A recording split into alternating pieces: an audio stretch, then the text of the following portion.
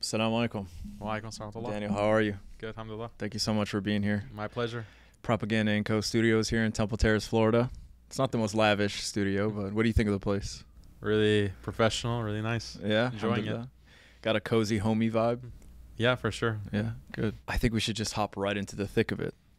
So, the Anti Defamation League, the ADL, has labeled you an anti Semite and a supporter of terrorism.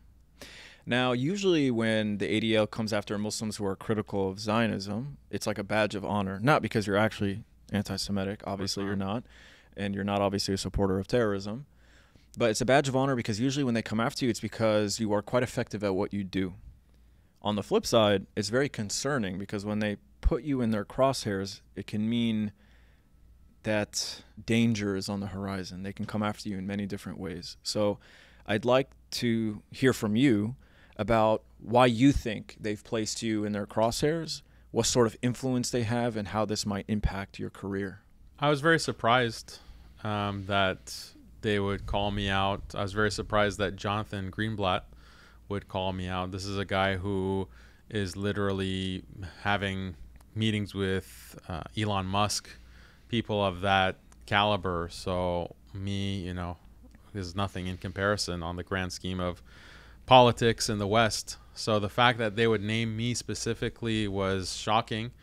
Um, why are they targeting me? I think that what um, I've been able to do with the Muslim Skeptic team, um, we've had uh, debates on Judaism and Zionism. I've given a presentation on, at Queens College, which resulted in a lot of controversy with Zionist groups trying to cancel that, and even the administration getting involved in the president of Queens College sending out a mass email to all students that, oh, Daniel is coming to campus and we denounce his views. That was shocking, also. Um, but then we're debating Zionism and Judaism in a way that's hard to rebut, in a way that's hard to respond to. And in reality, we're just turning the tables because for ever since 9/11 there's been this media operation to demonize Islam to demonize Muslims. And it's involved a lot of this argument that Islam is inherently violent misogynistic intolerant and we're going to uh, demonize Muslims. Why? Because we want to invade the Middle East. We want to have these wars in the Middle East. Um, now we've turned the tables. Okay let's look at Jewish religious texts, Judaism, you've been playing this game where Zionists have been criticizing the Quran, criticizing the Prophet. What is, peace be upon him, like that's been their whole MO. And now we're turning the tables and asking, well, look at what it says in the Torah, look at what it says in the Talmud. And I think this has really been a sensitive spot. Usually, you see commentators who are critiquing Zionism. They're doing a great job, but they keep it at the political level. But if you take it to the level of, well, this is what Judaism as a religion teaches, this is what you read in the scriptures, and this is actually informing the behavior of the Zionist state in apartheid and genocide policies towards the Palestinians, then that becomes a very explosive situation for them. So tell me how these debates have gone on campus. I read a couple of tweets of yours.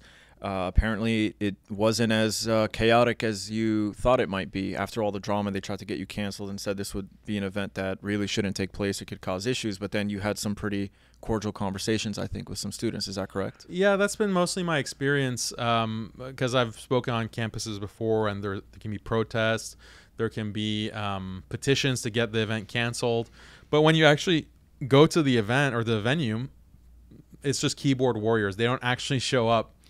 Um, so when I got to Queens College, there was one, uh, I think, Jewish man who had a huge Israeli flag, and he was handing out flyers like, "This is who Daniel Haqiqatjou is," Mm. and there was just one person. And then I go, we go to the uh, hall, and there's a lot of Muslim students, a lot of Jewish students, some seems like rabbis and other kinds of religious figures, and I just give my talk. They ask questions. It was mostly respectful. Went off without a hitch. So I think people when they see you in person and they interact with you in person, then that's a different vibe than just online. And I think it's it's positive. So, what are some things from Jewish scripture, from the Torah or the Talmud, that you've been pointing out and kind of shedding some light on? Well, what we find uh, within both the Torah um, and the Talmud is this kind of racial supremacy um, of Jews being a superior race uh, to others and non Jews being inferior. Some uh, religious texts will actually describe uh, Jews as being semi divine um, and non Jews having a kind of demonic soul. So, if, especially if you go to the Zohar, which is another very important Jewish text. Um, and this is a recurring theme. So, this is not all Jews accept this belief. We should make that very clear. But there are some Jews who do accept it, and we wouldn't care and we wouldn't be talking about it if there wasn't a genocide going on in Palestine.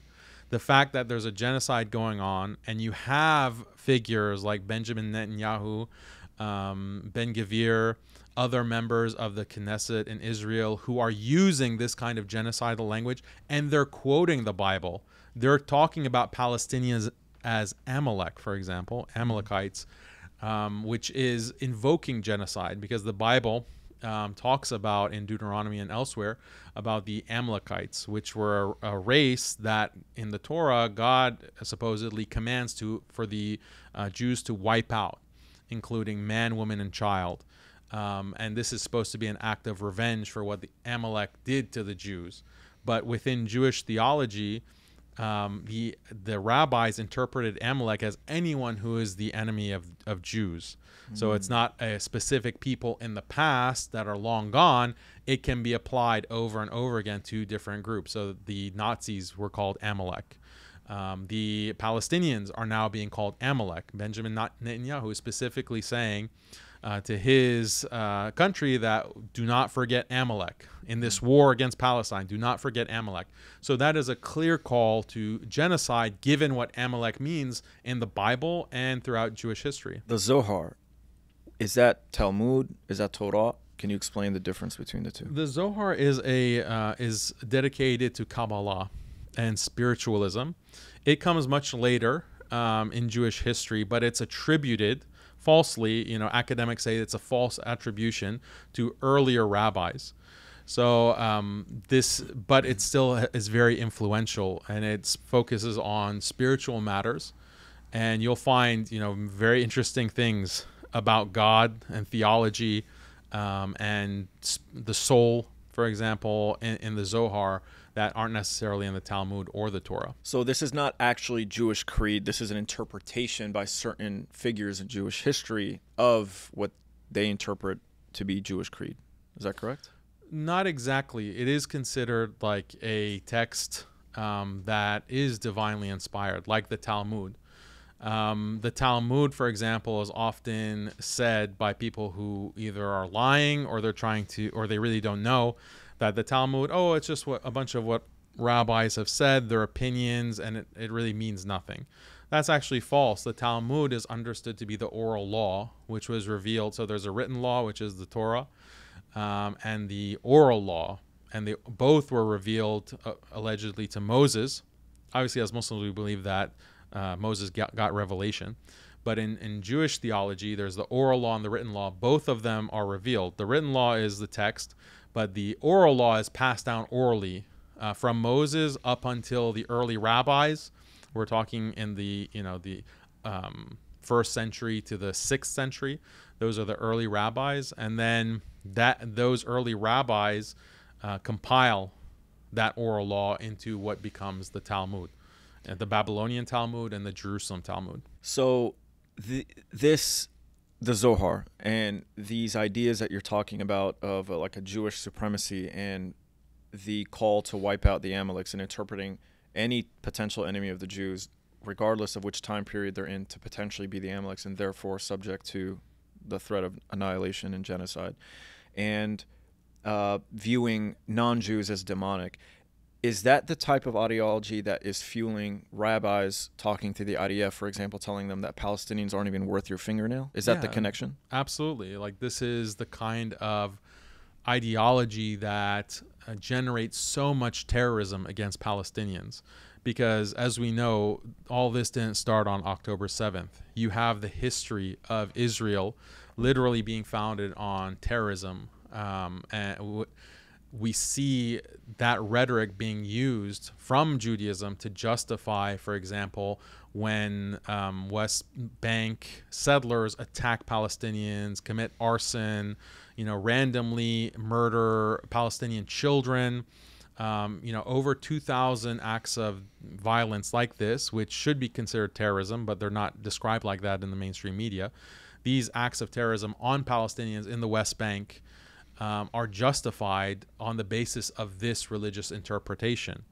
Um, so obviously, not all Israelis will accept, you know, that extreme type of interpretation of of Judaism, but the people who are committing these acts of terror against Palestinians, and they have for years, are inspired by these religious texts, and the rabbis are teaching those texts. Mm. So how can we not talk about those texts? And the thing is that Zionists have have set the precedent of tying political action and political violence to texts. So they say that, well, look at Al Qaeda, look at ISIS. They're a problem because they follow the Quran. And that's why we have to be suspicious of all Muslims, and all Muslims are potential terrorists because they believe in the Quran and they're reciting the Quran. So we have to have that eye of suspicion. And that's how they justified so many of the policies against Muslims, the Islamophobic policies justifying the uh, countering violent extremism, CVE policies, for example, in the war on terror, not only in the West, but even in Muslim countries, adopting those same standards that if you're a religious Muslim, that means you care about the Quran. And if you care about the Quran, that means you have more potential to commit acts of terror. That was the logic that was used. So you've set the precedent, and Zionists and neocons were the ones behind this idea. So why wouldn't we have the same calculus for looking at how Jewish violence is connected to Jewish texts? It seems like you either ban any discussion of religious texts in context of uh, political violence, or you don't have a double standard. If you want to talk about Islamic terrorism, quote unquote, and bring in the Quran and bring in Hadith, then we should be able to do the same thing with Judaism. But the problem is these Zionists and people like the at the ADL, they want this double standard where fine, we criticize the Quran and Islam, but you don't are not allowed to talk about our text because that's anti-Semitic. So, is it because of what you're saying right now and the fact that you're having these types of discussions on college campuses do you think this is why the ADL has made you a target? That's what I can only assume because there are a lot of people who are criticizing Zionism, Zionist policies. They're going through Israeli politics. They're bringing up, they're literally, you know, going to the ICJ and making a case.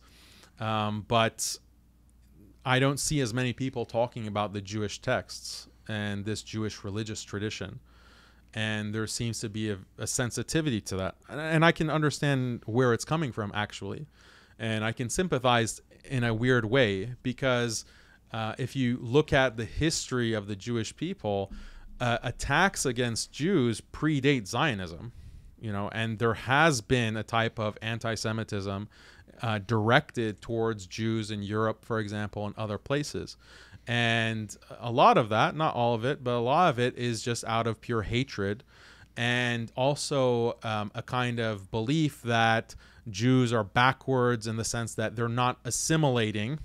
Uh, because if you look back in history, Jews were ghettoized and they were their own communities surrounded by a larger European minority.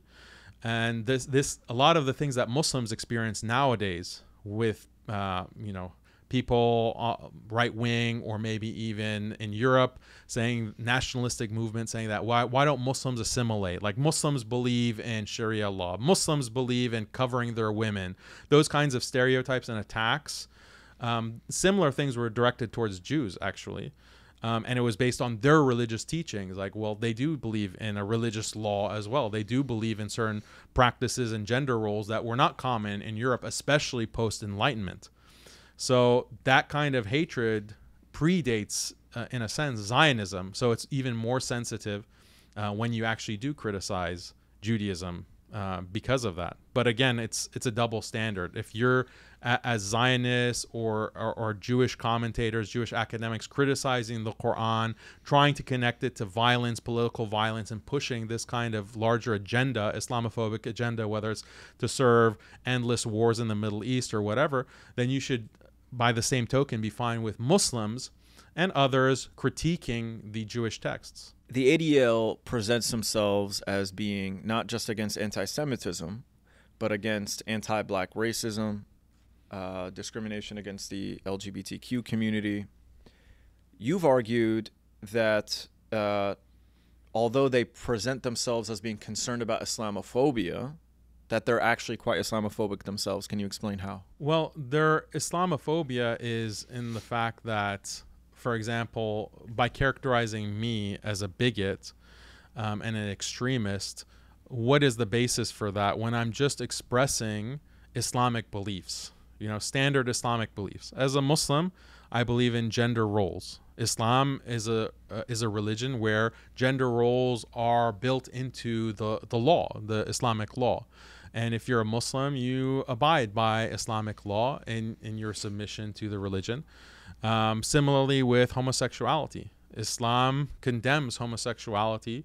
And as a Muslim, you have that position. So if I express that position, like that's my belief, if you're saying that that's bigoted, okay, then you're saying that Islam as a religion is bigoted and that it should be banned or it's not allowed in polite society. That's fine. Make the rules clear don't pretend like you are tolerant of Islam on the one hand, but you also want Muslims to give up and censor beliefs that don't match with your ideology or your worldview. You can't have your cake, and eat it too, right? So that's the problem with with Western tolerance. Um, you know, their tolerance for Muslims doesn't really extend beyond what they consider to be right and wrong. Muslims in Afghanistan, for example, their women dress in a certain way, they have a certain culture, they have a certain value system. Well, we don't accept that. That's not consistent with our human rights, our definitions. Therefore, we're justified in bombing you, droning you, and forcing you to change. Okay, so how is that tolerant? You know, how is that this enlightened tolerance that you are uh, presuming of yourself? It's all hypocrisy. It's all hypocrisy, and this, especially post October 7th, this idea of tolerance and a rule based order, and the West is so concerned with human rights. Everyone has been disabused of that nonsense. Like, okay, now we see what's really going on. It's, this is this is a rule-based order when it favors you, but if it's Muslim children being killed, if it's Palestinians being literally starved to death, and your world leaders are complicit and they won't say a word, then you can take your rules based order and shove it. I know you debated Robert Spencer recently on the PBD podcast. Can you talk about who Robert Spencer is and then tell us a little bit about how your debate went down with him? Sure. So, Robert Spencer is one of these chief Islamophobes, and he's had a long history of attacking Muslims, attacking Islam spreading all kinds of lies and bigoted nonsense about Islam. Uh, but he was involved with the government. Uh, he was involved with informing the government about Islam, and he had this kind, enjoyed this kind of position, and then he kind of fell out of favor eventually. Um, but he has this history of contributing to the war on terror against Muslims, this um, this mentality of countering violent extremism and there was I've been challenging him to debate for years, and he would always have some excuse. No, I'm not going to debate. Some excuse not to debate. This opportunity uh, with uh, Patrick Bet David, he wanted to have like a Christian Muslim debate on, on his podcast, and originally uh, Muhammad Hijab um, from the UK was supposed to come and debate Robert Spencer and some other Christians. Um, but unfortunately, he couldn't make it. Um, so he promoted me to Patrick and said, "Oh, why, why don't you have Daniel?" So I was there. Also, Jake, um, you might know Jake Brancatella. He was there as well, and we were us two Muslims against Pat, um, not Patrick, but uh, Robert and this Rashid guy. This he's a Moroccan who's very popular in the Arab world as this kind of uh, troll, basically but he's more popular in Arabic than in English. But for some reason, he found himself sitting next to Robert Spencer. And what's funny is that they had like no rapport, which was strange. Like you're on the same side debating as Christians, but they didn't really seem to like each other. And so we go to um, Miami for this, and we don't meet Patrick until it's like showtime. And then we come into the studio, and then we just meet him for the first time. He's really nice, uh, a really sociable type of guy and we sit and then you know the conversation starts but if it hadn't been in that venue if it hadn't been Patrick Bet David and Robert Spencer being the worm that he is, not wanting to miss that exposure, he would have dodged. He would still would have dodged me, you know, to prevent any kind of confrontation. And then we saw what happens. Like it was a complete disaster for his uh, image as an expert on Islam and religion. So yeah, he's a he's a charlatan, but it was really satisfying seeing him squirm. And what is his connection to, if not the ADL, but other Zionist groups, like through this funding network? You're familiar, of course, with the Fear Inc. report, the Center for American Progress. They did this report on the Islamophobia network and all the funding and, and how it spreads from different groups to think tanks to activists to people like him. Uh, so, can you talk a little bit about his connection to the entire like Zionist Islamophobic network? So he's connected, I believe. It's been a while since I reviewed that report, but the David Horowitz Foundation, I believe, is what it's called. David Horowitz is the main person, uh, hardcore Zionist, and they fund people like Spencer, also Pam Geller, um, Daniel Pipes, and the Middle East Forum, um, and they've all done like articles and hit pieces on me, basically. Um, but they've been branded, especially post Trump, as you know Islamophobes, uh, and they're not seen as respectable figures in the way that they were in the Bush era and maybe early in the Obama era. Basically, um, towards the end of the Obama second term and early Trump days, this idea of Muslims as a protected minority that was something new. So the younger generation of Muslims might not realize, but this type of animosity towards Islam was really common and like depicting Muslims as terrorists in like respectable media, mainstream media, that was extremely common. And it was only in a sense because Trump came on the scene and Trump is spewing like this kind of anti-Islamophobic, anti-Muslim nonsense. He's talking about a Muslim ban. And because the mainstream establishment hates Trump so much, they were willing to say, okay, no, Muslims are, you know, our friends and Muslims are important, special people. And if Trump is attacking them, that shows how bigoted and, and evil Trump is. So they u- they're using Muslims kind of as a weapon against Trump. So we benefited from that. And uh, this kind of outright Islamophobia obviously was has always been a part of the mainstream media, but it became more taboo. And figures like Robert Spencer and Pam Geller, the kind of political position they had as like respectable members of of that class, they're kind of ostracized because they're just too far. Mm-hmm. And groups like the ADL, on the other hand, they're able to shift from being more like Robert Spencer to no, no, no, no. We're about protecting, you know, Muslims too from Islamophobia and LGBT, and like they evolved uh, in order to stay within the uh, political establishment.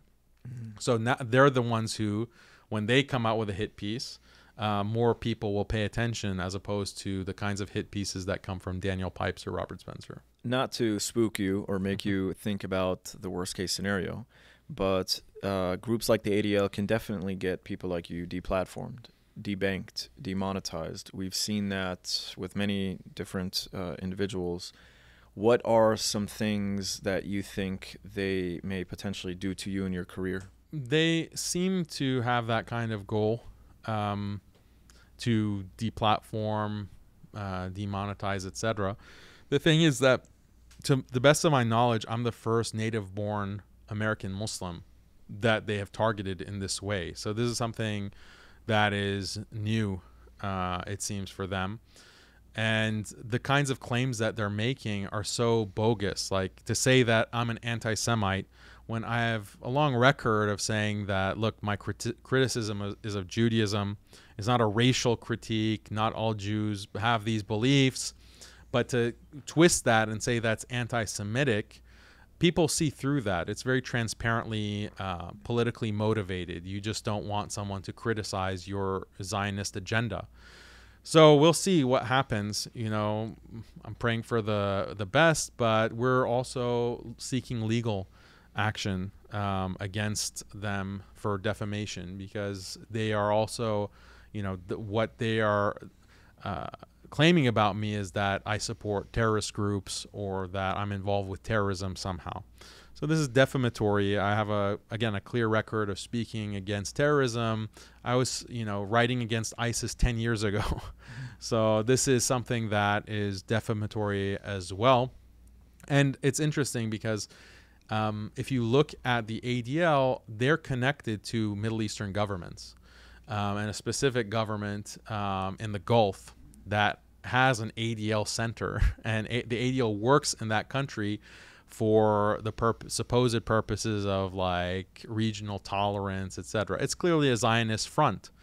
And this particular Gulf country has a history of uh, launching extremism accusations against American Muslim groups that, for whatever reason, they don't like for their own political purpose. Mm. So it may be actually that there's a specific Gulf country that is involved with the ADL because they don't like my criticism of secularization happening in the Muslim world and, and the kind of Zionist secular, secularization, where you are not only trying to secularize the Muslim population in these Arab countries, but you're also trying to normalize through the Abraham Accords and elsewhere with the Zionist state. Mm-hmm. So that's a sensitive spot too, and I think there might be some involvement of these regimes with the ADL against me. I want to segue more into that conversation, I guess, through this uh, individual you've uh, deemed or termed uh, Rabbi Faris. But before we talk about him, I want to ask you about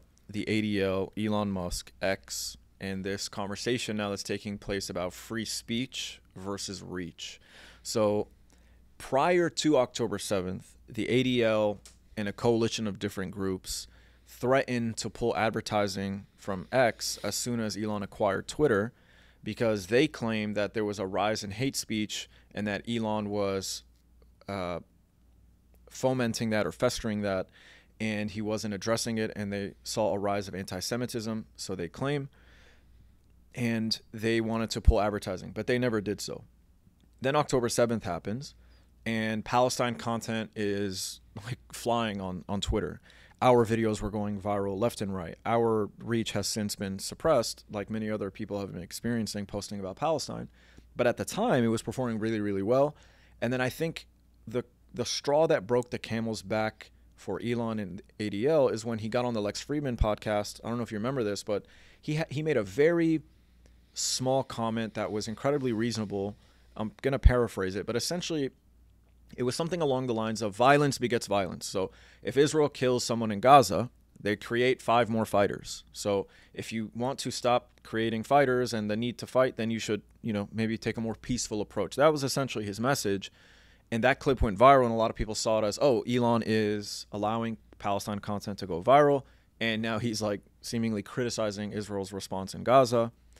Uh, shortly after this, advertisers actually pulled out of X. And this put Elon in a position where he was panicking and he goes on the propaganda tour in Israel. He's at the kibbutz and then he's at Auschwitz with Ben Shapiro. And then all of a sudden, pro Palestine accounts start getting censored on X. And so his argument has been well, I'm not really censoring speech, even though some people have been outright banned ever since then. But he's saying, I'm not really censoring your speech. I'm limiting your reach. You have the right to say whatever you want. You don't have the right for every, anyone to hear it, though. So, what is your take on that entire situation between Elon, the ADL, free speech. Well, has he actually come out and said I'm limiting Palestinian reach? I don't think he's no, actually he's never said, said no, he's never said that directly. But there's been this conversation about yeah, there's a wider reach. principle that he gave because uh, I was before Elon took over, I was had been banned from Twitter for some bogus reason, um, but uh, I was reinstated and I experienced the same thing. Like posts on related to Palestine were going viral, um, getting hundreds of thousands of views very easily. Um, but then suddenly there's a switch that was turned off, and then you can barely get you know 10% of the same kind of reach. So it's very obvious that something changed with their algorithm. Uh, and then you look at the Israeli accounts, and they're at the same level, if not more so even the like their viewership because that's a different metric like the impressions that you get versus the likes mm-hmm. so the likes and the reposts that those israeli accounts are getting don't justify 500000 1 million 8 million impressions uh, so people have noticed this kind of uh, discrepancy and I would prefer you know, the kind of methods of X and Elon Musk as opposed to like Meta. Like Meta will just outright they don't even care Yeah. if you protest; they'll just take you off completely. Mhm. Even YouTube, to a certain extent, um, even though they're not as bad as Meta, they'll just take you off. But so it's the better of two possible worlds. Um, I think Elon having control of the platform is better than if it was just a corporate uh, entity like Meta or these other big tech companies.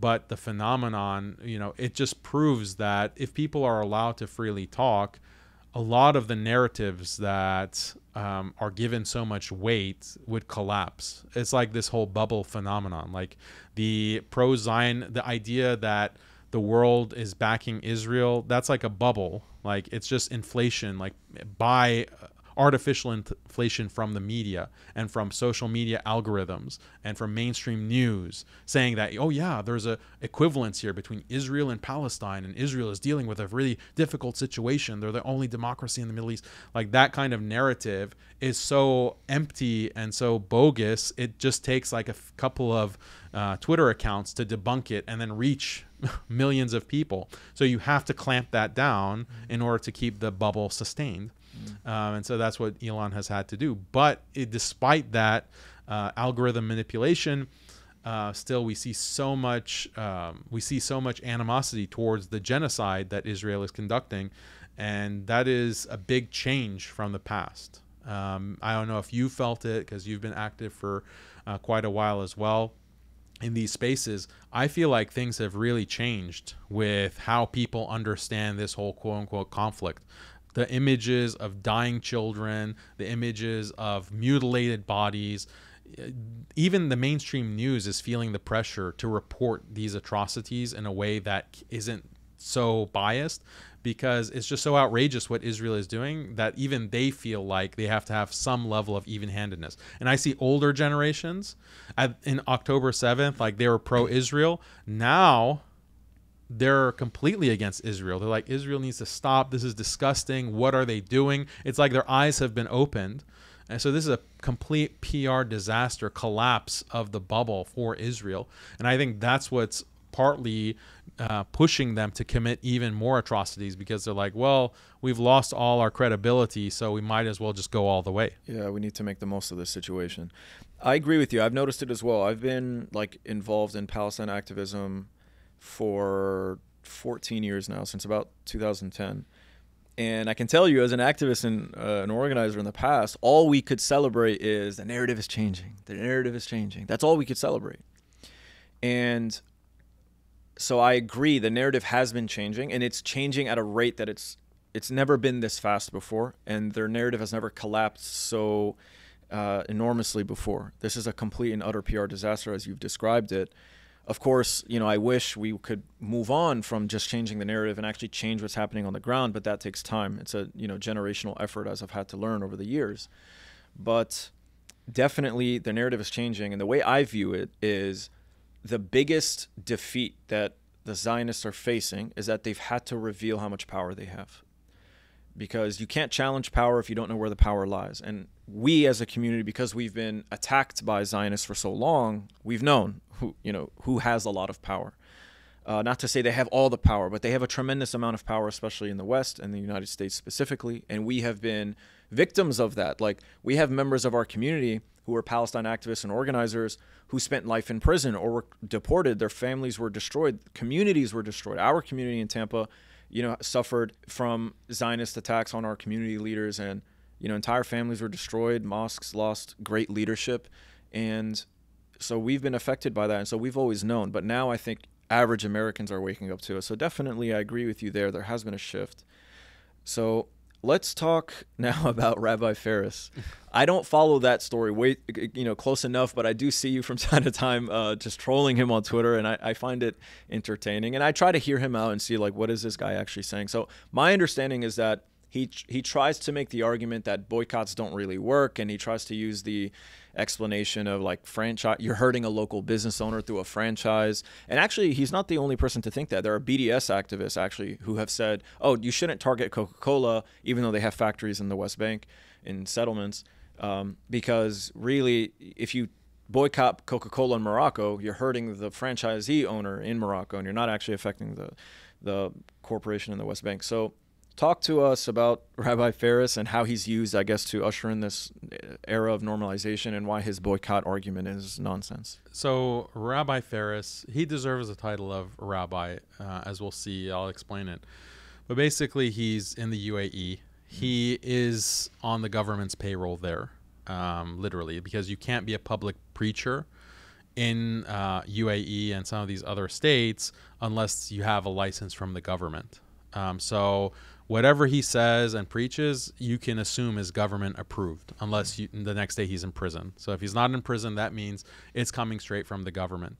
Uh, his initial uh, position and what he announced, and he stood by that to this day, is that boycotting in itself is haram, like it's impermissible and uh, he announced this. Um, he didn't.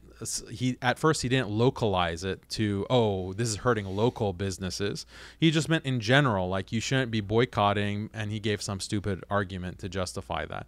And no one had heard of this ever before in the history of Islam. Like you uh, can make your own decision on what you do, buy or don't buy. Um, and then he escalated the argument in a way too. He said that not only is it haram, but it also makes you a khariji like it makes you and without going into the whole detail of who the khawarij is but it makes you basically like a terrorist. Mm. like you are an enemy of the state. If, if you if you're boycotting israel it's just yeah it, it, makes you laugh when you hear about it. And there are literally zionist accounts who are tweeting him and saying or retweeting rather and saying that oh look this imam mm is uh, giving the fatwa that boycotting Israel is haram. So mm-hmm. why aren't Muslims li- listening to their religious leadership? Mm-hmm. So even the Zionists were promoting uh, this clown. And the thing is, he's not like a scholar. He's not an imam. Uh, he has a lot of followers on TikTok but he was in as late as 2017 he was a crossfit trainer. Like he had a crossfit gym. Oh wow. Yeah he has he's not like this religious scholar that has training. So he claims that he had oh i've studied with the scholars and whatever. Even if that is the case like very recently like your whole line of work was something completely different. Like mm. how did you transfer from crossfit trainer to you know dai or like imam? So it's very shady anyway. That that aside, but what he's saying is so patently ridiculous. Mm-hmm. that boycotting makes you a, pot- a, potential terrorist. And he just keeps doubling down. He just keeps doubling down on this narrative. He he laughs at the idea of boycotting like making jokes about it. Like um, he's been on like podcasts with like starbucks or someone else was drinking starbucks and they just have a good laugh. And that kind of attitude is so despicable like as muslims are dying and people, Muslims around the world, people in general around the world are trying to make a difference. They're trying to help, and you're laughing and mocking their efforts. Right. So he, you know, and, and if he like personally believe that boycotting is wrong, or for his country it's wrong, that's fine for him it's just his mistake but he's going out of his way to label muslims around the world as terrorists um, for for boycotting. So that that tells you that it's not just a religious opinion. Like he's politicized and he's being, you know, there's a bigger agenda that he is serving for him to go out and say that at such a sensitive, crucial time. So why did you label him rabbi? yeah, I, I I'm not saying that he's not a Muslim. Uh, I'm not doing takfir of him. Uh, but you know you get the title that you deserve when you've been serving the Zionist interest in this mm-hmm. kind of outrageous way. And the boycott thing is only one thing. Like he has a record, and I don't want to go through his whole history, but he has a record of statements that are shocking in this time. Like uh, he he. Uh, made comments making light of the death of Palestinians. He's like he tweeted that well he didn't mention Palestinians specifically, but he said like, well, in, in World War One, this many people died. In World War Two, this many people died. People die. We we move move on with life. You know that kind of comment in the at the beginning of this war, people, are, Muslim, Palestinian Muslims are being genocided, and you are flippant about it. Uh, he, you know, has that kind of attitude. It's just disgusting. Transitioning now, you're familiar with the red heifer sacrifice, of course. So, have you seen our video of course. You have. Okay. So I knew nothing about this a couple of months ago. And it was actually this um, Twitter account and this Instagram page that we collaborate with sometimes in terms of doing research. Propaganda versus Truth. They're massive on Instagram. Great channel. I think operated by a husband and wife. Really good people. And they messaged me and they said, "Hey, did you hear about this red heifer thing?" You know, they made an announcement marking 100 days, and they cited one of the reasons, the justifications for the October 7th attack was the sacrifice of the red heifers. Do you want to do a video on it? If you do, here's some research we can provide you with. So I sat on it for a bit, then I started doing research, and I was like, oh my God, this is crazier than I thought. And I started digging deeper and deeper. And I made this video, and it, it performed really well because apparently it's a trending topic, not just for Muslims, but it's a trending topic for Christians and Jews as well. And everyone is interested in the topic for different reasons. So Muslims view it as like this apocalyptic, catastrophic event. Some Christians view it, there's debate, of course, but some Christians say Jesus is the temple. There is no temple that should be rebuilt. Uh, so we don't actually believe this. Other Christians are like, no, we do need the temple to be rebuilt because we need Jesus to return, and he won't return unless there's a temple. And then, of course, you have Jews who were like, it's part of our faith. We have to rebuild the temple, and the Messiah will come back, etc., etc. So everyone is, you know, interested in this topic for different reasons. But because of that, it was trending, and our video went viral. It's our most watched video on YouTube. Talk to us about the red heifer sacrifice. Is there anything we missed in our video, or what do you want the audience to understand about this red heifer sacrifice and how it ties to the temple and potentially, you know, a much more catastrophic situation? I think what you covered in the video is pretty comprehensive. Like that, that is basically what the red heifer is supposed to be. It's supposed to purify. Uh, for the construction, the reconstruction of the temple. This will be the third temple. So all of that is accurate. Um, this, I think, what can really be emphasized more is the role of the Messiah and the idea of the Messiah, because that's where things really get um, hot, you could say, for all three religions. Uh, because Muslims and Christians agree that the Messiah is Jesus Christ. But the Jewish idea of a Messiah, um, they obviously rejected Jesus Christ as mes- the Messiah but they believe that the Messiah is that is the figure that is going to bring you know the whole world under Jewish rule, and they view this as like a positive thing, like this will be peace and, and justice for the entire world. But the idea is that the Messiah will come and uh, build the temple. Like those two events coincide. Some say the Messiah comes first, others say the temple is built first but the role of the Messiah and his position to as this figure who is messianic, like the messianic age, which will involve violence, which will involve war, the Messiah is the one that's going to usher that in. Now, Muslims and Christians also believe that with variations. But what's interesting is the intersection because according to Islam, the Messiah comes, Jesus Christ will return to earth and his first major act is going to be, kill the Antichrist or the Dajjal, Masih Dajjal, which uh, Dajjal means like deceiver um, or, or arch deceiver. And so the when Jesus returns and he kills the Antichrist, well, who is this Antichrist figure? And what's interesting is that Christians, uh, the earliest Christian theologians, like Irenaeus, believed that the Antichrist was Jewish, which is interesting. And other early um, church fathers also believed that the Antichrist is Jewish. Um, Muslim, according to some traditions, the Antichrist also has a Jewish lineage, or a lot of his followers are going to be Jewish. Which is interesting because obviously, according to Judaism, the Messiah is going to be a Jew and is going to be followed by Jews. Another interesting fact is that within Judaism, the Messiah is sometimes described as the Son of God. Um, the uh, Messiah is from the line of David. And in the Old Testament or, or the Hebrew Bible, David is sometimes described as the Son of God. And the messianic figures are considered to be sons of God, or sometimes is this metaphorical God. or is this literal? They actually believe the literal. I mean, the language is literal, like it's the Son of God. Mm. Um, so I mean, this is I had a whole debate recently on whether Judaism is really monotheistic or not, and pointed out a lot of examples of polytheism that you find within the Old Testament, within the Hebrew Bible. Um, you know, a lot of language in the Hebrew Bible is uh, polytheistic or henotheistic, and they do have this idea of sons of God. that doesn't become the dominant interpretation of rabbinic Judaism after the sixth century, but they still have that within their books and that in their tradition. So we experienced some technical difficulties, unfortunately. I should have done a better job clearing the SD card. So if you ever want to do a podcast, okay, don't sit down with a great guest like Daniel Haqiqatjou. Eh, How do you pronounce your last name correctly, actually? You did a great job. Yeah. Is that Haqiqatjou, you could pronounce it with like a more. Haqiqatjou? Yeah. This is the way? Yeah. Okay. Well, when you sit down with a guest like this, you got to make sure there are no interruptions. He was riffing. We were talking about the Mahdi, the end of the world, and it was all ruined because of this. But, you know, since we paused, I might as well tell you about today's sponsor, the Dajjal. He uh, would like to recruit you to his demonic and satanic army so he can destroy the world.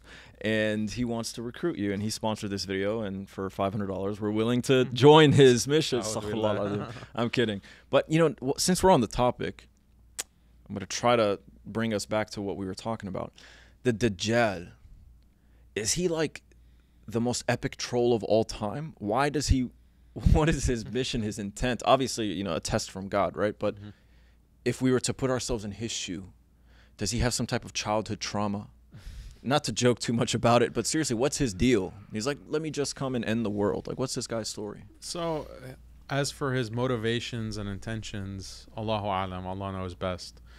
But um, his he primarily works through deception, and he is going to come to dominate and control the entire globe. And the narrations from the Prophet sallallahu alaihi wasallam are ma- make it very clear that those who follow him will experience prosperity and wealth, and those who reject him will suffer poverty and they will suffer from hunger and destitution. So it's the greatest fitna. It's it's one of the greatest fit, fitan or tr- trials and tribulations that humanity will face. Um, and that's why he's known. Like all prophets warned about the Antichrist, and the Prophet Muhammad was no different. And he gave us the most description of who this person is. And one of the the other defining characteristic of the Antichrist is that he is one-eyed. And what does that mean? One-eyed. There's a misconception that him being one-eyed means that he's a like a cyclops, like with one big eye in the center of his head. That's not it. He has two eyes, but one eye is deformed. Uh, it's a defective eye, and it's like sunken like a grape, and that's what the authentic narrations say. So, um, and then how you know that he's a liar is that he's one-eyed, but God, Allah, is not one-eyed right? Allah is not one-eyed, Then that's that's the wording of the narration. So the what's significant about this Antichrist and how it intersects with the red heifer issue, the temple issue, waiting for the Messiah issue, is that in the Islamic tradition we know that the Antichrist will claim to be a Messiah. He'll claim to be a son of God and divine, and then eventually he'll claim to be God himself. And mm-hmm. what's interesting is that the Messiah that is being waited for by Jews, according to the Jewish tradition, also has been described as the Son of God and even God within the uh, Hebrew Bible.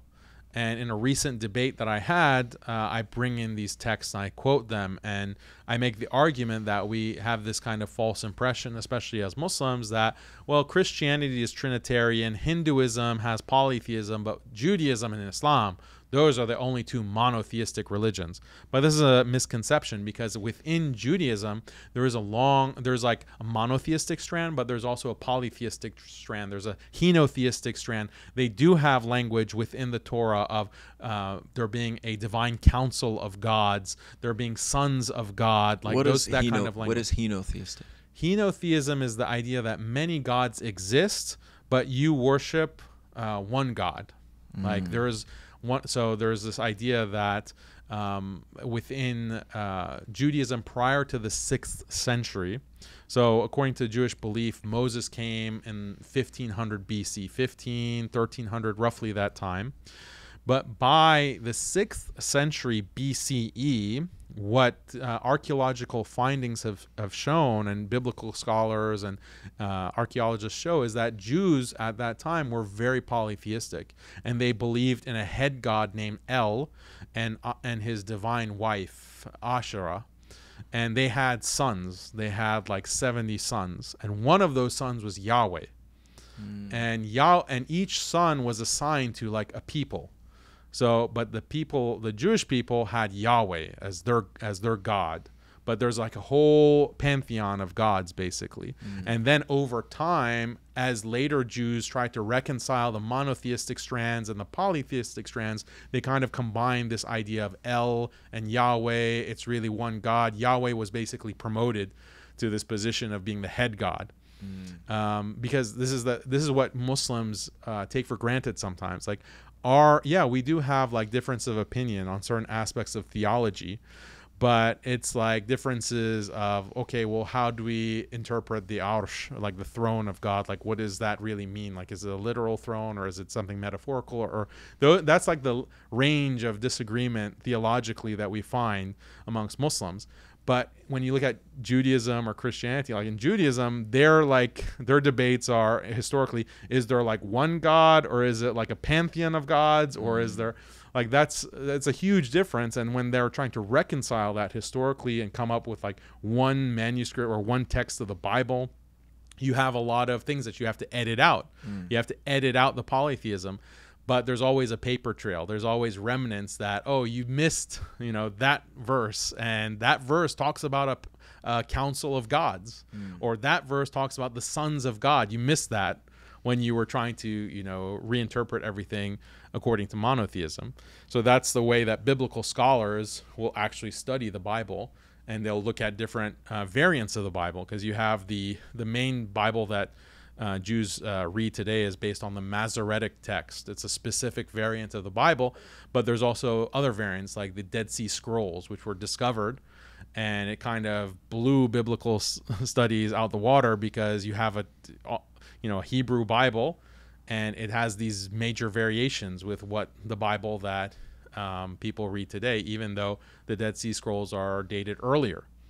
So there are different variants of the variants of the Bible. That's another problem that Muslims don't have, alhamdulillah, with the Quran. Before we had the technical difficulty, we were talking about the Mahdi because we were talking about the convergence of these different eschatological opinions, right? Islamically, in terms of Christianity, Judaism, and they converge onto this single point. So, what I asked you was about how Muslims will be able to recognize a Mahdi figure.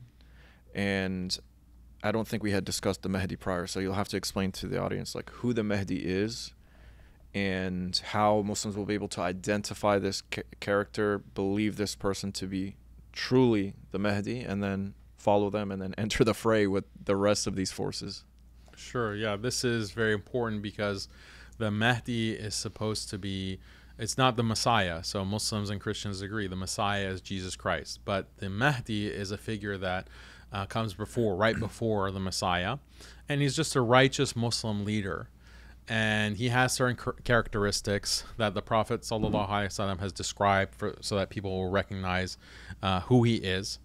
Um, but he is considered to be the uh, first of the major signs because uh, what do we mean by major sign versus minor signs? The Prophet ﷺ gave us a description of what is going to happen before the day of judgment, before the world is going to completely end. And there are minor signs like people are going to be um, generally more immoral.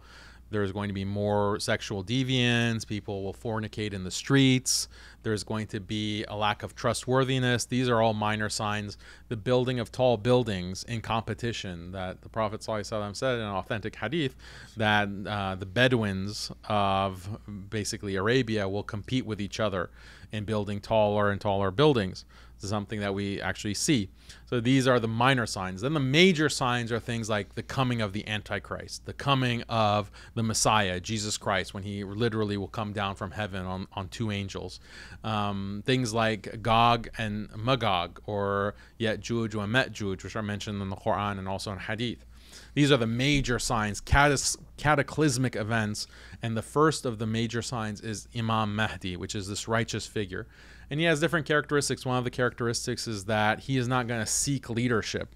He's not going to try to gather people to follow him. He will be forced into a position of leadership. Like the Muslims will force him, and he just doesn't want it. He'll actually be fleeing away from leadership, but they force him into it. So that's one of the uh, central characteristics of the Mahdi. Um, and there there are other signs of like who it is, but one of the signs is that there will even be a kind of voice, like a definitive voice that says this is the Mahdi. Now, whether that's authentic or not, I don't know, uh, but that's one of the characteristics. But the point is that it'll be very clear cut that this person, uh, um, you know, something unprecedented in history, unprecedented where uh, we haven't had a figure like that, and then there will be a figure like that and Muslims will have a choice. Do I follow, you know, what is the clear truth by following the Mahdi, or will I just sit it out? Will I just avoid, uh, you know, making the sacrifices that are required to follow a leader? And a lot of Muslims might think that, oh, if I was in the time of the Prophet, wasallam, of course I'd follow the Prophet. Of course I'd be the best Sahabi. You know, I'd be the best companion of the Prophet wasallam.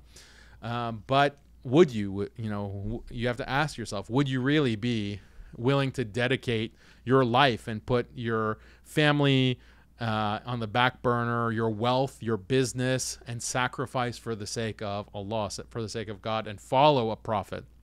That's the kind of commitment that the sahaba made and that's what makes them the greatest generation um, if we want to be counted as being great uh, followers of Islam and servants of God, are we going to be in that position where we follow the Mahdi when it's clear to us that that person is the Imam Mahdi? There's a requirement that if you're a Muslim, you have to support him. In, in the same way that if you were a Muslim in the time of the Prophet, you had to support him, you had to fight with him. In a similar way, there'll be that same requirement uh, for Muslims. It'll be wajib who's going to actually do what's wajib and who's going to turn their uh, his or her back. That'll be the question that all Muslims at that time will have to face. So, what does the Mahdi do? He's going to lead the Muslims to victory, military victory, uh, basically establishing God's rule by um, taking over certain Muslim lands. Because the understanding is that Muslim lands are going to be uh, controlled by forces that are not going to be Muslim. It's the forces of uh, disbelief or whatever. And the Mahdi is going to lead Muslims to take over, reconquer those areas, and establish like a Muslim uh, rulership. And this is prior to the coming of the Messiah. Yes, that's prior to the coming of uh, Jesus Christ. So okay. what's going to happen is, you know, what the hadith describe, the exact timeline there's going to be ikhtilaf. Um, scholars will disagree on what the exact timeline is, but there's like a general sense that uh, Imam Mahdi is first. He's going to have a lot of success. Um, there will be people who will attack the Mahdi because the Mahdi will be located in Mecca, and then there will be a great army that will come to attack the Mahdi, and then at that point, the earth will actually swallow that great army up. Mm. So you think that there's this dominant force that's going to come with, you know, who knows what kind of weapons, well, uh, you know, artillery force coming with their whatever they might have at that time, and you have a small ragtag team mm. uh, following the Mahdi, they're going to get crushed. They're going to get, get destroyed. But no, the the earth will literally swallow up that army. And it's interesting because you know, what does that actually mean uh, when you look at a country like Arabia today? There are things like sinkholes. There are things like giant sinkholes that can open up, especially if you've been drilling underneath the earth for a long period of time. Mm. So Allahu Alam, only God knows what can happen. But these are the kinds of things that are described about the Mahdi and the end of times. So you described potential modern weaponry like artillery. Um, but my understanding, and obviously I don't know what I'm talking about, but from what I've heard, is there'll be some sort of return to like ancient warfare. Is that during the Mahdi's time? Is that even true? There are different opinions on that. Some will say, some say the view that you mentioned that thing will return to more primitive uh, technological period, and fighting will be done with spears and swords on horseback, etc and some say no you know it's it's going to be through using modern weaponry. Uh, only allah knows.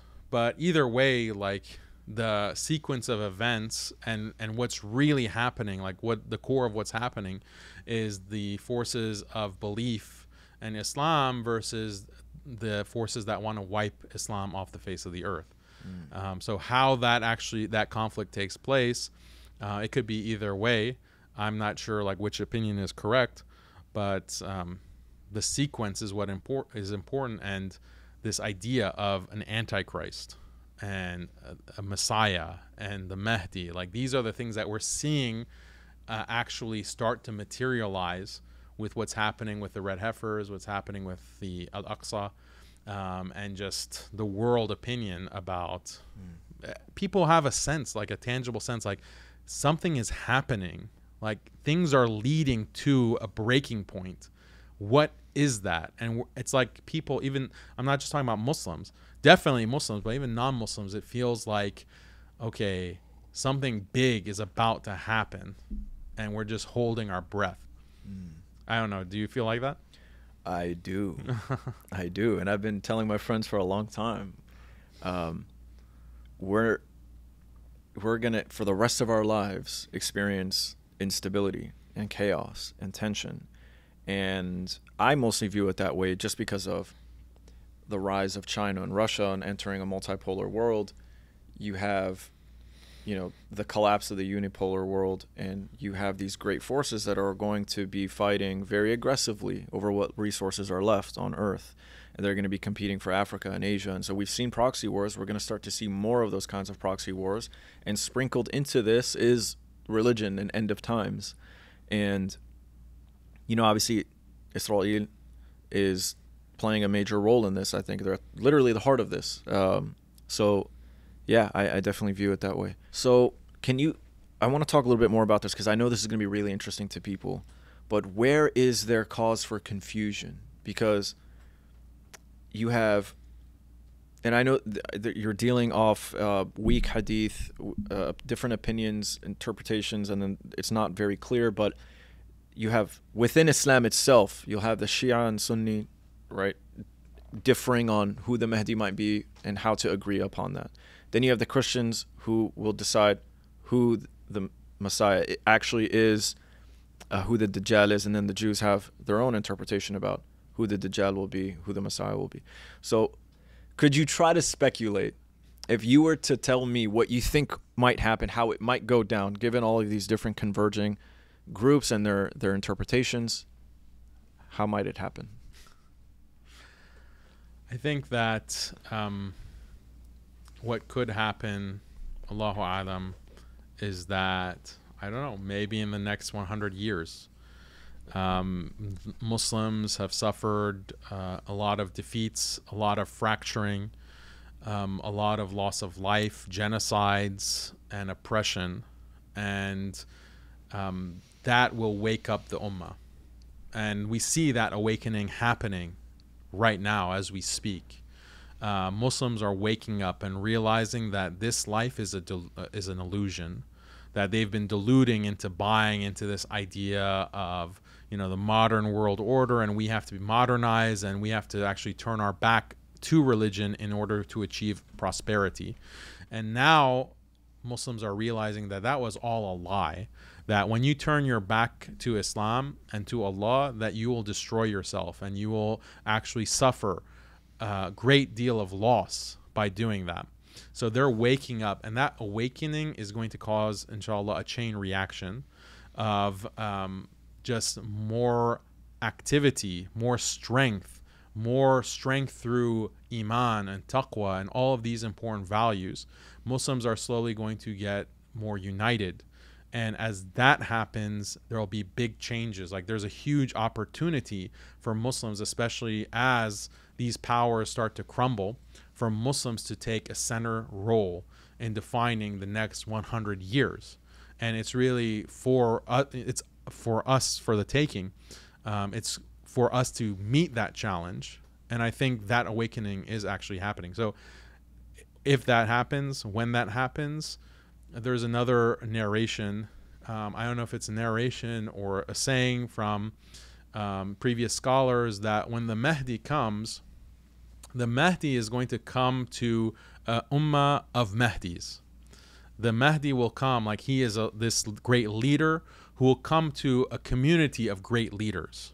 So that's why, as Muslims, we can never be passive and say that, oh, well, let's just wait until the Mahdi comes.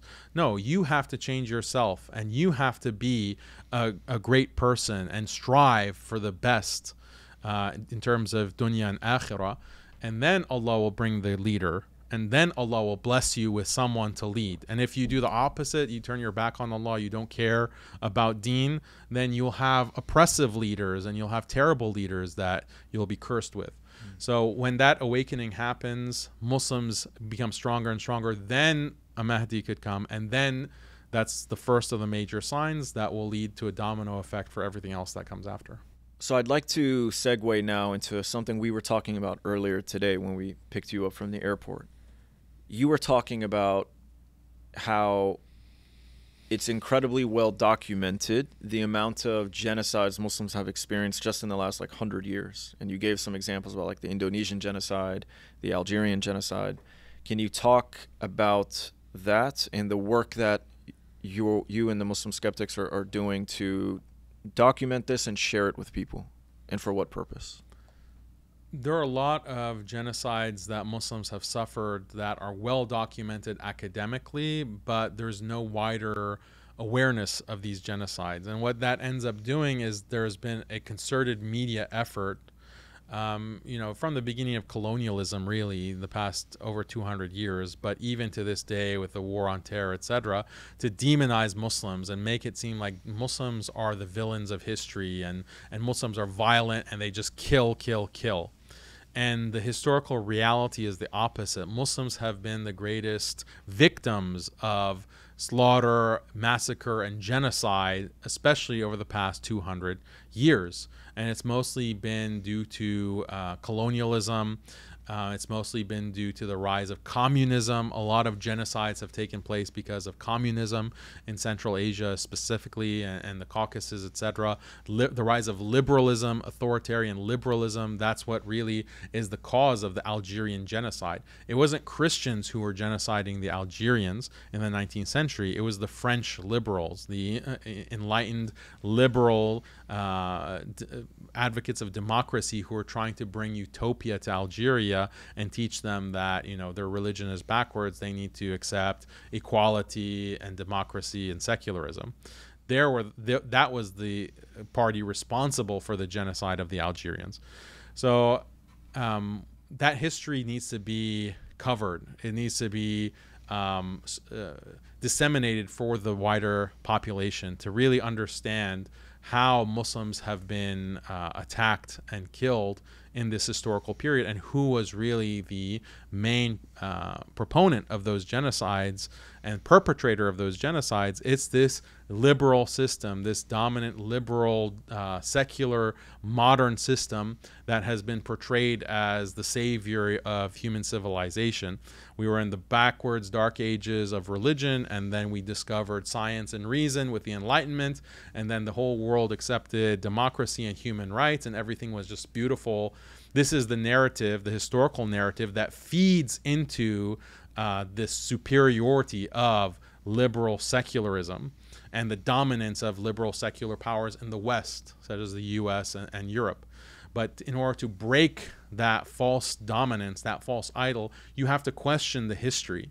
And part of questioning that history is like, okay, how did this omelet get made? The mm-hmm. omelet was made by killing and slaughtering and genociding Muslims and forcing them uh, to accept this system whether it was like this kind of liberal secular system, the communist system within Asia. Look at the the the uh, killing of Muslims in the Caucasus and Russia, in Albania, in China. Like this history has to be uh, discussed, and that's what at Muslim Skeptic we have the Muslim Genocide Awareness Project, and we have documentary style videos going through the history. And we make sure to cite everything with academic, uh, peer reviewed sources so that there's no question that the data is completely solid. The numbers, you know, if you want to claim that anyone can claim, oh, you, you murdered a million of our people. Uh, you murdered 2 million. You can give any kind of random number, but so what? Like, what is your justification for that? And we want to bring the the highest quality sources to justify like okay when we say that 3 million Indonesians were murdered and genocided we're not just making it up when we say 6 million or 7 million Algerians over 200 years were genocided or not 200 years 100 years by the French this is justified because of this historical book, this historical book, this documentary record. All of these sources that cannot be disputed because they're academic, they're non Muslim academic sources. We were talking earlier about liberal democracy in Islam, and you were talking about how they're, they aren't compatible. Can you elaborate on that? The, to keep it short, um, liberalism as a philosophy uh, began in the Enlightenment at the turn of the 19th century. Um, it's related to modernism, the idea that really what determines right and wrong is the human mind. It's not some book from heaven. It's not what God says. The human mind determines what's right and wrong. And what determines what's right and wrong is maximizing freedom and maximizing equality. And as long as you do that, then, then eventually you'll reach utopia. Uh, that's what liberalism is based off of. And when you look at like American politics, when I say liberalism, I don't mean like left wing uh, or Democrats. Every par- political party in the West is liberal in the sense, in the philosophical sense of liberal, because they are, they all are uh, operating under the same premise of maximizing people's freedom. So when Donald Trump or the Republicans say that we increase people's freedom by giving them Second Amendment gun rights, okay, that's their understanding of how to maximize freedom, whereas the Democrats will say, no, no, no, that that infringes on other people's rights. So that's not consistent with maximizing freedom and equality. But they're all debating about the same thing: how to maximize freedom and equality. The the theological model and other philosophies as well that predate liberalism uh, operate on a completely different basis. It's not necessarily what maximizes freedom and equality. There are other important values. Like what about the uh, value of um, family? What about the value of marriage? What about the value of your community? What about the value of God and worshiping God? These are human values that are not necessarily served by maximizing freedom and equality. In fact, they're harmed. Sometimes, if you maximize freedom, like the idea that you can pursue your pleasures as much as you want as long as you don't harm anyone, if you maximize that, marriages will suffer. In fact, marriages will break down because for marriage to work, you have to have a kind of commitment to the other person and not uh, engage in adultery and cheat on the other person. Uh, if you do engage in that be- behavior, then the marriage dissolves, right? So if you want to preserve marriage, you have to restrict people's rights or you have to restrict people's choices and say, no, no, you're married don't commit adultery. And in fact, we're going to have punishments for you if you commit fornication or adultery in order to preserve marriage, in order to preserve family. So you can see how that restriction, like Islam will restrict a person by saying, if you commit, you know, adultery, you're going to get punished. Uh, you're going to face some kind of punishment for that. That will restrict the person's individual freedom, but it supports and protects the institution of marriage because marriage is also valuable. And what we see in today's society is that, well, marriage is almost extinct. In fact, many sociologists have made dire statements that marriage is extinct completely uh, because people aren't getting married. They don't want to get married. And when they do get married, they get divorced uh, very quickly. Majority of marriages end up in divorce. So that shows that this kind of policy of maximizing people's freedom and equality can actually destroy other important human institutions like the institution of family. How can you have this uh, a family um, if you if people are maximizing their own individual freedoms above everything else? Like being a father, for example, means you sacrifice for your family. Like you go and do a hard job in order to make ends meet so your kids will have food and they'll have a good life and your wife will have a good life you have to sacrifice what your personal desires are in order to support a family. Whereas if you prioritize your own personal desires, you might say, Well, I always had the dream of being a movie star, or I always had the dream of being like a world traveler. And so if I want to support a wife and kids, that's going to infringe on my dreams. I don't want to do that. I want to live a free life. I want to see the world. I want to go and, you know, buy whatever new technology and, and enjoy life. And you see that attitude very common amongst youth because they've been conditioned uh, to this kind of self-serving individual freedom my life my choices types of mindset. And that's contrary to marriage. That's contrary to family. That's contrary to belief in god and, and submitting yourself to god. Like why should i submit to god? Like i have my own life. Like those kinds of sentiments uh, and, and wanting to sacrifice and putting these other values first, that's gone out the window. And it's because of this entire cultural, ideological system of liberalism. That's, uh, you know, I've written uh, books about this, I've written articles about this. It's literally destroying the human race. Very interesting. I want to bring this up. We were talking earlier about the amount of money that Zionist organizations spend in America to influence politicians and to advance the cause of supporting the state of Israel. And it's projected that they spend about 50 to 65 million dollars a year. And this year, because of the genocide that's taking place, they have reportedly committed up to 100 million dollars to uh, inject into the political system, and much of which is to try and take out the politicians from the quote unquote progressive squad uh, that has actually, you know, been as vocal as one can be in Congress. And we were talking about, you know, because of the wealth of Muslims in America, why can't Muslims inject that kind of cash, meet that, maybe half of that? Uh, why can't Muslims compete? And you had some thoughts about this. So can you elaborate? I believe that Muslims should be involved, must be involved with politics. But how do we define politics? And I think that there's a narrow understanding of politics as electoral politics. Like we have to have representation um, in Congress, we have to have representation in the state legislatures, etc., or parliament, or whatever it may be. That kind of mindset is very naive because it assumes that oh if there's a token muslim sitting in that parliament seat or that congress seat then our interests are suddenly going to be served by that person. But that's just not how politics works. Politics work uh, through influence and influence works through money. And Muslims, in terms of their wealth in America, cannot compete with the wealth of other groups like the Zionist lobby because it's not just the lobby, it's not AIPAC just uh, injecting $100 million. It's also all of these major corporations that can be uh, influenced uh, and are influential in politics. And that's millions and billions of dollars of wealth that Muslims don't have to operate at that level of these uh, major corporations, these major industries, for example, um, that are influenced by donors and board members of Zionist persuasion. So that's how, like, this idea of, well, politics is just about merit, and oh, if you win the election, you you you do your grassroots effort, and you're in Congress, and then you're going to have a seat at the table.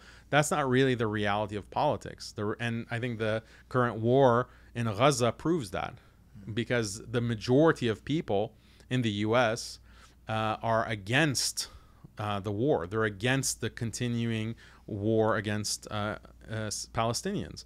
But why is there a kind of unanimous pro Israel bent and policy within Washington if electoral politics is supposed to represent the will of the people? Clearly it doesn't, and clearly it never has. So, what is really uh, being represented in the halls of Congress, it's money and power and influence. And Muslims just don't have that level of money and power to be able to influence Washington.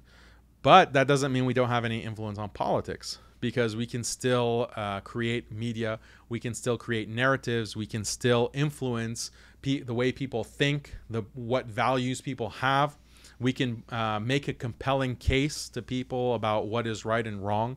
And I think uh, it has been because of uh, the effort of a lot of Muslims and non Muslims that the narrative has changed on Palestine, on Israel, and that has its own trickle down effect. Um, but I know that you said that we should get beyond narrative changing.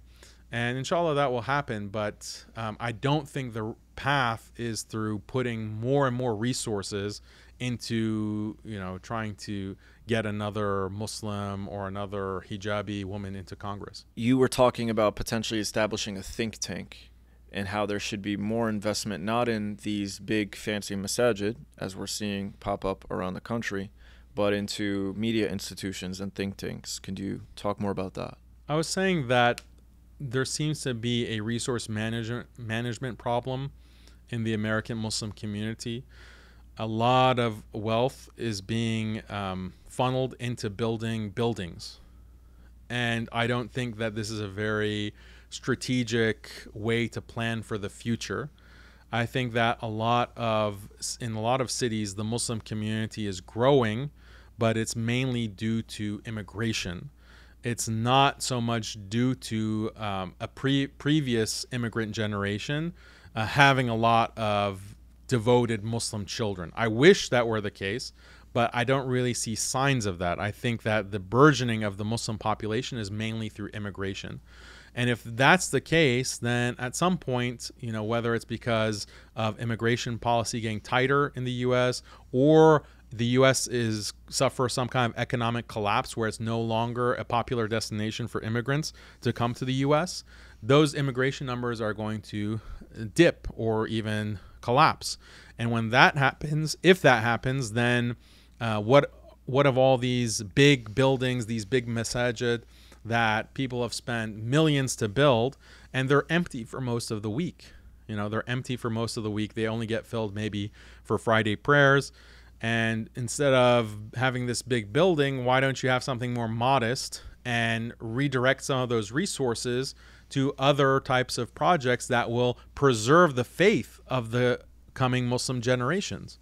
Clearly, there is a big problem of Muslims being able to convey Islam uh, wholly and consistently to the next generation and the next generation after that. That requires institutions that go beyond, oh, this is just a big uh, building, this is a big a masjid. Um, so there was another conversation that I had with some Muslim friends where they were saying, you know, all of these plots and plans that we see from the enemies of Islam, it's like our enemies are just geniuses. Like our enemies are just so uh, you know, two steps ahead, and they're so smart. Like they are just geniuses, and they were just befuddled by this. I told them that look, it's not inherent genius that our enemies have. You have to actually dedicate resources to strategy, towards research, towards thinking, towards developing, analyzing. And that's what our enemies do. They they spend hundreds of millions annually on their think tanks. Literally, the war on terror was developed in a think tank. RAND, and people are generally aware of RAND, but they don't know how RAND operates. RAND is very well funded. They advise the US government and the US military. Uh, but there's all of this money that comes to fund uh, hundreds of these RAND scholars who are doing research and writing and completing PhDs. Where is the Muslim equivalent of that? Um, and that's kind of a sign of an immature community. Like you have the wealth, it's not like we're poor, but that wealth is not advancing our interests. There, that wealth is not advancing the Islamic interests. Um, building masajid is very good and very important, and we, we need to do that. But how much of our resources, what percentage should be going towards that, as opposed to building media institutions, building research institutions, building propaganda institutions, these kinds of things that are very vital for advancing the interests of any community politically.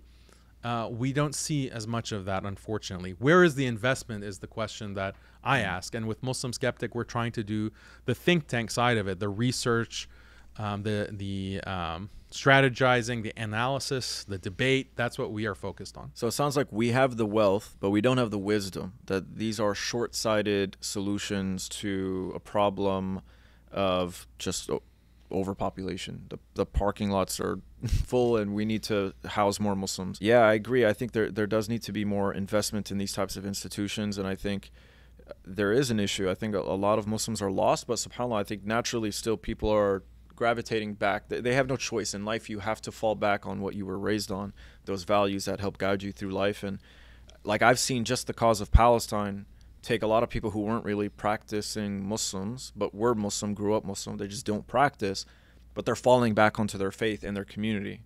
And I met one guy, he's Palestinian himself, and he told me, My entire life, I have never cared about Islam and I've never cared about Palestine. Never. Just because I was just living my life doing my thing. And there's been all these these issues before, but when this genocide started taking place, it shook me awake. And I imagine there are many other people like him. So I'd like to one other point Go ahead, um, yeah, about the importance of our own research, our own strategizing. If we don't do it, others are going to do it for us and they're going to make prescriptions for us. And we're not going to be smart enough or informed enough to know that, well, we're being led down a dangerous path or we're being given advice that's actually not going to benefit us. It's actually going to destroy us. Mm. We're following a Pied Piper basically by accepting the research of others. And this is why we have to have our own intellectual resources. You know, we talk about like human resources, but there also needs to be intellectual resources developed in the Muslim community. And it's it's really shocking if, if you look at the state of uh, universities, even in the Muslim world. Um, I can't point really to many institutions, definitely not more than three, two or three, that you can really say this is like an independent minded research institution that they're pursuing you know the, a kind of uh, research methodology that is informed by islam and it's like serving islamic interests. In reality most of the universities are just taking a western model and they're just feeding Western narratives like, okay, let's talk about why extremism is a problem for Muslims. Let's talk about like why we need more, you know, women's rights and, and all of this stuff in, in the Muslim world. Um, that's like, that's a Western agenda and Muslims can talk about like okay mistreatment of Muslim women, but do it on Islamic terms, not in this kind of liberal human rights discourse that is using that's being used to colonize the Muslim world. You're just taking that agenda and you're doing it in, in a Muslim research university. That's not good enough. We have to be independent minded. Where's the research that shows okay the disaster of Western colonialism, how they have they claim to be so intellectually superior, but actually, when we analyze liberalism and secularism and scientism, materialism, evolution, these things all have intellectual problems. They have all kinds of holes uh, in the narrative, you could say, and we can critique that on an Islamic basis. And that's how we justify and defend Islam as the message of God. Like we claim that and we make grand statements about Islam as a way of life but what are the, what are the intellectual arguments to back that? And is, in Islamic history, we have a long history of scholars, uh, ulama, and and thinkers who would back up that statement. They would critique other religions, they would critique other ideologies, and they would write tomes, volumes about how Islam is superior, how Islam is rationally more compelling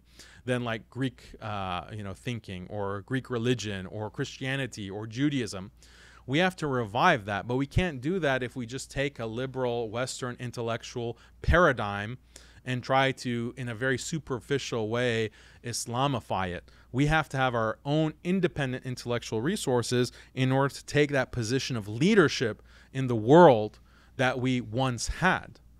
Otherwise, uh, we're just going to be followers, and it's going to lead us to our destruction. Speaking of critiquing Western ideologies, you tweeted this about Richard Dawkins, who the other day he told the LBC, if I had to choose between Christianity and Islam, I would choose Christianity every single time. And he said this in response to, uh, I think, Oxford Street putting up lights for Ramadan, but not necessarily doing so for Easter. So you tweeted, you said, New atheist Sam Harris is on record as saying that Judaism is better than Christianity, which is better than Islam. New atheist Richard Dawkins seems to hold a similar view. In other words, the new atheist movement is not really about ta- attacking all religions, but rather attacking Islam and to a lesser extent Christianity while ignoring Judaism.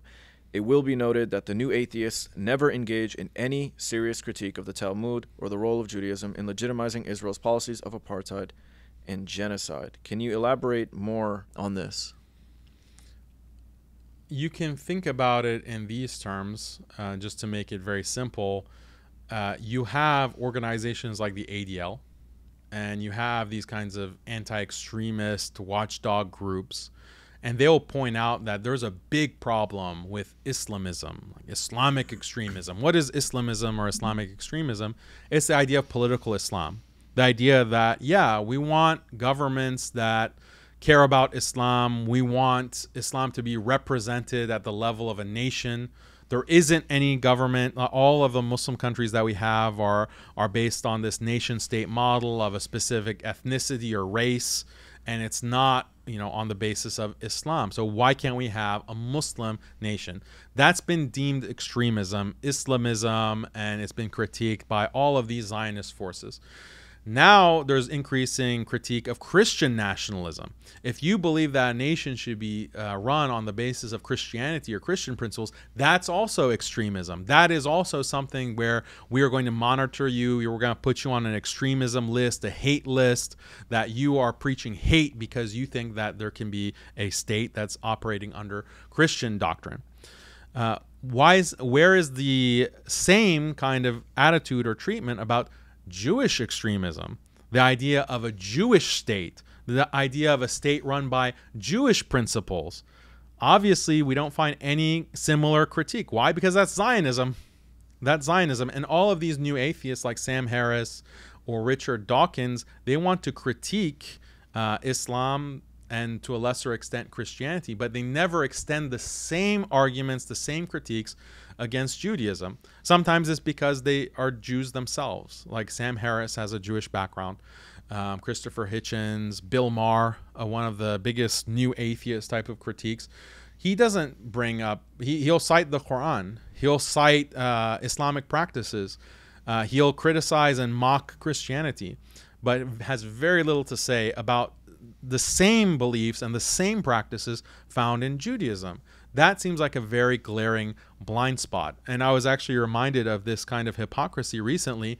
Um, there's another podcast, Fresh and Fit, and they brought in this kind of rabid Zionist Islamophobe, uh, Laura Loomer. Mm-hmm. And she was making all these comments about, oh, Islam is misogynistic, Islam is a violent terroristic religion. She was going off and getting very little pushback in, in that particular podcast. And so I challenged her. I said, I'll debate you. You want to talk about misogyny? You want to talk about uh, religion being violent? Let's talk about Islam versus Judaism. And then she said, No, no, no, I don't want to talk about religion. You know, I, I, I responded, What do you mean you don't want to talk about religion? You were talking about religion.